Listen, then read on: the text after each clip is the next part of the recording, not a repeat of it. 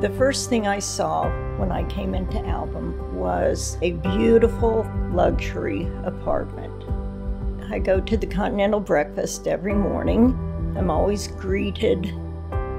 I may walk or work out in the fitness center and usually will check on my garden. I love to read, so I'm a member of the book club. There's a nice theater here that I even rented for my grandkids for a special occasion. I really love being close to Chisholm Creek. One of my favorite places to eat is Birra Birra's, an evening of drinks, and I love going there with friends.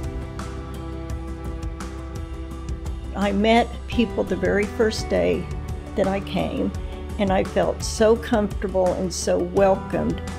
I knew that there were a lot of amenities here. What I didn't expect was to make so many friends here, and that has changed my life. If you're considering coming to Album Quail Springs, I would suggest you just do it.